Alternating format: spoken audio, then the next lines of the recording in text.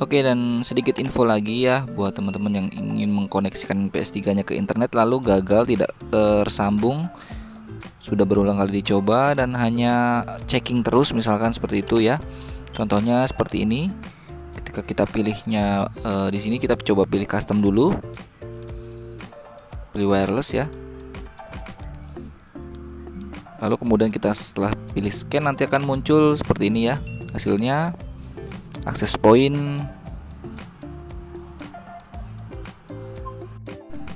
ya uh, akses point was not detected ya. Lalu misalkan kita coba pilih easy nanti akan seperti ini terus ya. Checking network konfigurasi terus ini lama sekali.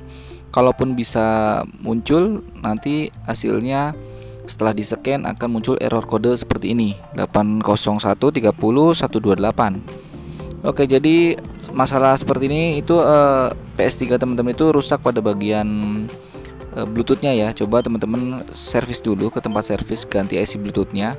Karena itu nyambung dengan uh, bagian ini ya uh, untuk wifi nya ya dan e, misalkan mempunyai masalah seperti ini untuk PS3 hand atau seri 3000 atau 4000 teman-teman jangan update sistem ya. Kalau kalau teman-teman update sistem ketika mau install hand kan tidak harus harus butuh koneksi internet harus tersambung dengan internet. Kalau tidak bisa disambung internet seperti ini nanti handnya tidak bisa diinstal.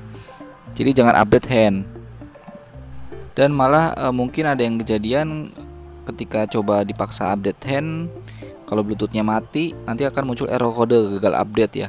Jadi sebaiknya servis dulu uh, eh, IC bluetoothnya baru lakukan update.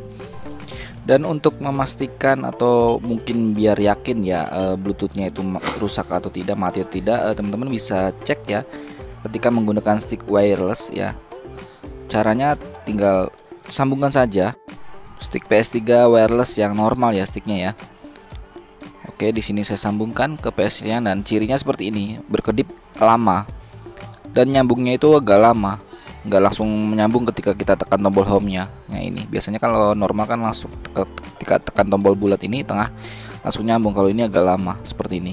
Dan misalkan normal kalau kita gunakan sebenarnya tombolnya juga normal, bisa nyambung, cuma agak lama ya. Dan kalau kita lepas kabel casnya itu nanti sticknya nggak connect lagi.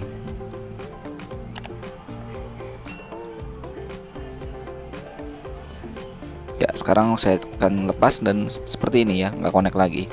Jadi ini untuk memastikan ya eh, beneran bener rusak atau tidak ya. Oke jadi sekian saja sedikit info dari saya. Semoga bermanfaat. Terima kasih dan sampai jumpa di video tips PS Arena selanjutnya